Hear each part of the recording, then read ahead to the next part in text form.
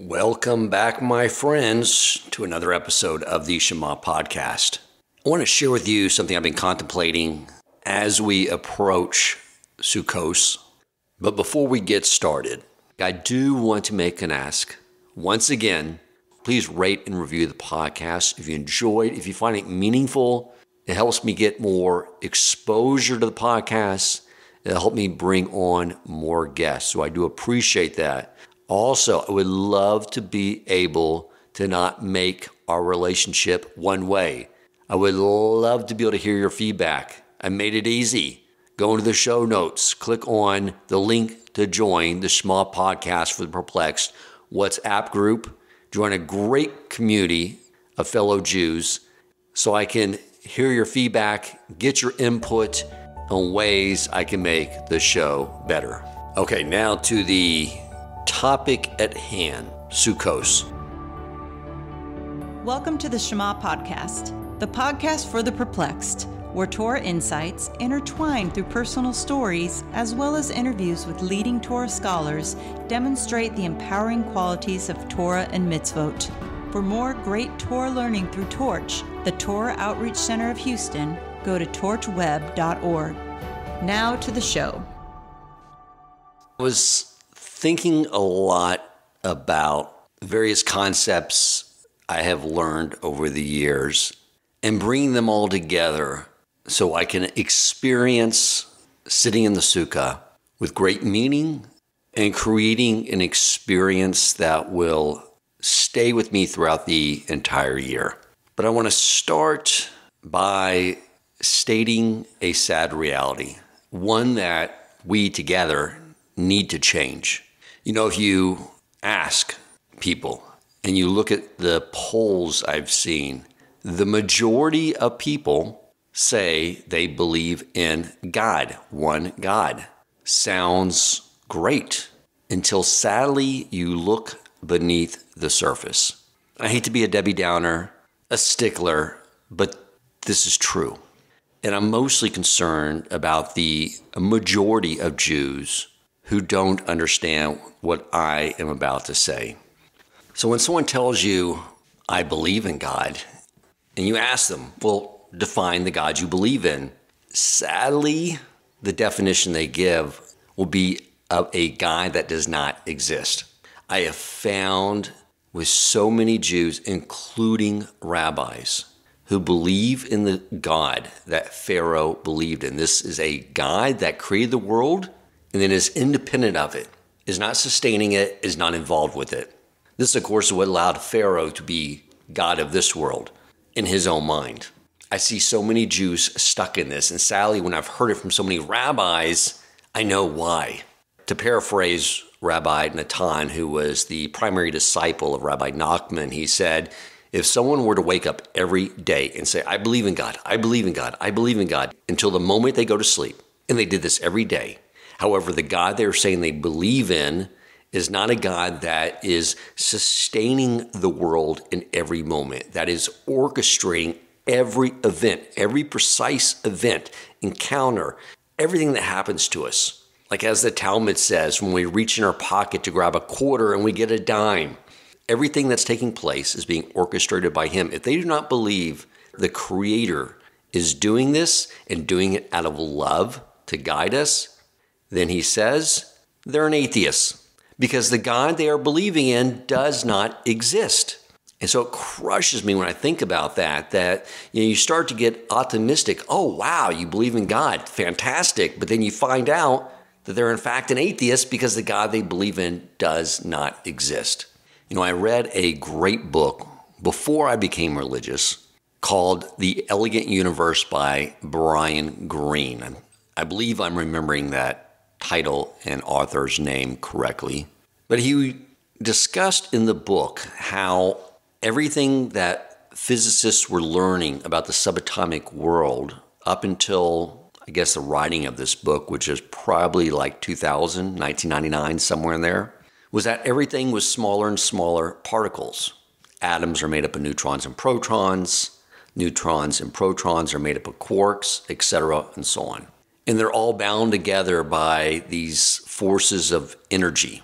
the strong nuclear force, the weak nuclear force, gravitational force, electromagnetic force. And the energy is what causes the particles to coalesce with each other to form everything around us. But by the late 90s, they had gotten to the point where they realized that the further you go down to the subatomic world, it's not smaller and smaller particles. It's fabrics of vibrating strings, it's vibrations. And different frequencies of vibrations are what cause everything in the world to come into existence. And I found this fascinating more so when I started learning Torah. And I learned that our infinite internal creator is brought the world into creation through speech. And what is speech? What is my speech right now? It's nothing more than me taking the air from my lungs, pushing it through the physical flesh of my mouth, tongue, teeth, lips to form sound. And what is that sound? It's vibrations. I always check back in and look at where the physicists are holding, and they're still stumped with what is the source of these vibrational frequencies. They're still trying to hammer away at an algorithm to f- figure out what's causing all this to occur. But we, of course, know why the source of everything. I've seen some Kabbalistic literature, although it's been quite some time. I don't remember the source. Forgive me once again. Where the Kabbalist used similar language to what modern physicists are using to describe Hashem's name the Yud, K, Vav, K, replacing the Hey with the K. And why do I do that? Is because we do not pronounce that name. We don't know the vowels to pronounce it, and we don't even say the letters one after another because it's just too powerful for us to tap directly in to the divine source in that way. So they were describing that the Yud K Vav K represents those four energies that Hashem used to create all of reality, all of the physical universe. And this is why, my friends, that you'll notice that in the Torah observant world, you rarely hear someone use the word God. This is precisely why, is because the word God has so many definitions according to so many people. We say Hashem is what you hear typically. Hashem meaning the name. What is the name? The Yud Ke Vav Ke, the force of everything that brings everything into existence and is influencing everything and is a source of all power and all pleasure. Now you're probably asking, Dan, you really gone off on a tangent here. What in the world does this have to do with Sukkos? Let me explain. And this probably explains why so many Jews who show up to their synagogues for Rosh Hashanah and Yom Kippur do not observe the mitzvah of sitting in a sukkah because they don't understand what it's there to accomplish. When you look at Rosh Hashanah, Yom Kippur, Sukkos, and use more metaphysical type terminology, I think it may give more clarity. You know, we talk about at Rosh Hashanah crowning the king, that Hashem is the only ruler, he is the king. But on a different level, or maybe just using different terminology, what are we actually saying? We are coming into Rosh Hashanah and acknowledging that the source of everything, the source of all power, the source of all pleasure, the source of everything manifesting itself into existence is from our infinite creator, Hashem, Yud Ke Vav. And then we go into the 10 days of Teshuvah leading into Yom Kippur. And what are we doing then? We use this terminology about sinning, but let me phrase that in a way that I think makes more practical sense. Whenever we sin, what are we doing? We are assigning power or pleasure to something other than the Creator. If we embellish a truth in a sales meeting, what are we doing? We are assigning power for our livelihood to our sales ability, the prospective client sitting in front of us. It's assigning power and a source of our sustenance from something other than Hashem. When we work on Shabbos, we are assigning power to something other than Hashem for our livelihood. When we fear anything other than the only power, we are assigning power to that other thing. That is a sin. When we are assigning pleasure to anything that's not kosher, then the opportunity cost of that is we're not assigning pleasure correctly to our Creator.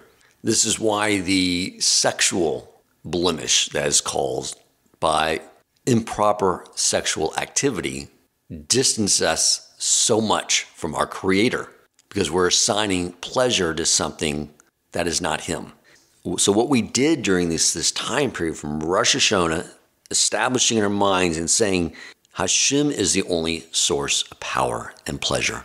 And then going through and looking at every moment in our previous year when we assign power or pleasure to something other than Him, which is the same thing as what causes us to sin, then we are rectifying those errors, repairing ourselves.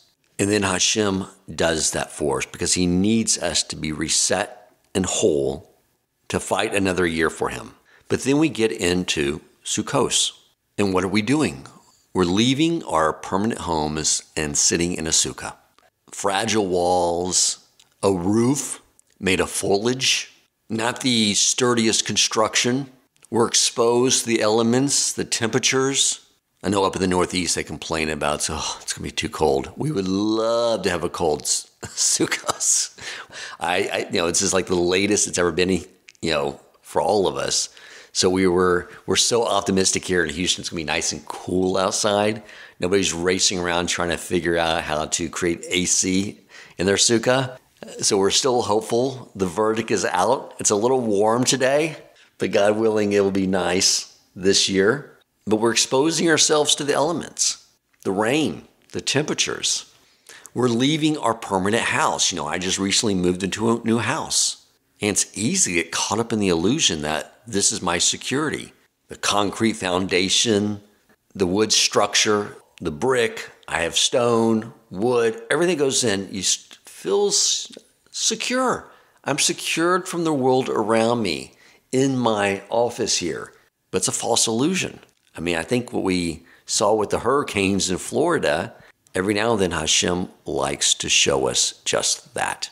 It's not a source of security. And so we go in the sukkah to remember that. The only security of any type for our safety, well being, material needs, spiritual needs, it all comes from Him. The walls of the sukkah, halakhic, to be halakhically sound, have to have three of the four walls covered. To have a shape similar to that, to an outstretched arm wrapped around like in a hugging embrace. You know, a lot of people think that many of these things we do in Judaism are symbolic in nature. You know, we sit in the sukkah to remind us things. It's symbolic, but it's not. It's much more deeper. It's metaphysical. The mitzvos are there to bridge what the physicists do not yet understand that the true backbone of all of physicality, the cause of those different vibrations creating the fabric of all materiality, it comes from a spiritual source. So, baked into creation was things that we don't quite understand, we don't yet have the math for. And one of them is, is that when we are sitting in the sukkah, it is there to infuse us with this amuna, this understanding. Hashem wants us to know as we go out into the year to not put our sense of security in our homes or our bank accounts or anything other than Him. He wants us to trust in Him alone for everything because that is the source, the true source of where we find all our physical blessings, all our security, all our spiritual blessings and insights and growth and clarity. It all comes from Him. And He doesn't want us going elsewhere. Because when we go elsewhere, we get led astray. They're false paths, they're dead end streets. They don't get us anywhere. And He wants us to have a successful year, And that is the purpose of this mitzvah of sitting in the sukkah. You know, one of the things we do as well is we wave the lulav. Hashem delegated to the Jewish people the mitzvah of these four species and waving the lulav in order to bring rain throughout the entire globe. We are responsible for feeding the world, not something I learned in Sunday school growing up. We are responsible for feeding the world. He put that on us. If there was no Jew waving a lulav this Sukkos, there would be a global drought. And we do that. We take that responsibility seriously. Even for so many around the world that hate us, they will find out one day that it's because of us that they had rain, that they had produce growing from their fields to eat. It came from us. So I just wanted to share, my friends, this, this idea. It's an idea that we need to spread. It should not be with 25 to 35% of the Jewish people alone and a small group of B'nai Noachs. We have to get Jews to understand this. We have to get them to understand and correctly define their creator. We can't just cheer when we hear them say that they believe in God. We have to educate them on this. We need to invite them into our sukkahs and explain this to them. You know, I did a podcast with Tyler and Erica Scholl titled something like We're All in Jewish Outreach Now. I forget, it's been a while. But the idea is that we have to be. I mean, those of us living in a Torah observant community that have lived here think what it would do for all of Klal Yisrael if everyone brought another Jew who is not familiar with Sukkos to bring them into their sukkah, to explain them and define God, the definition of Amuna, what it means. I mean, being a part of the Torch family, where Torah is conveyed on a regular basis, through the great rabbis at Torch. You know, as I found myself contemplating this sad reality, I realized like this is the primary thing that Jews need to learn around the world. If we can get them by this time next year, more Jews just to understand this reality, then it will have a considerable impact on the Jewish people overall in the world at large. You know, as I went through the uh, Yom Kippur service, there was many times where I many things that I read as like I did this and I did this and I did this. I assigned power to something other than Hashem.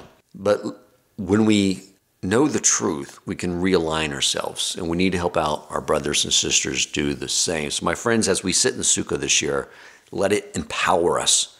Empower us with amuna and knowing this reality and asking for Hashem's help to spread this reality and this true definition of, their, of the Creator to more Jews and the world at large. I mean, this is our mission. This is our purpose for being in this world.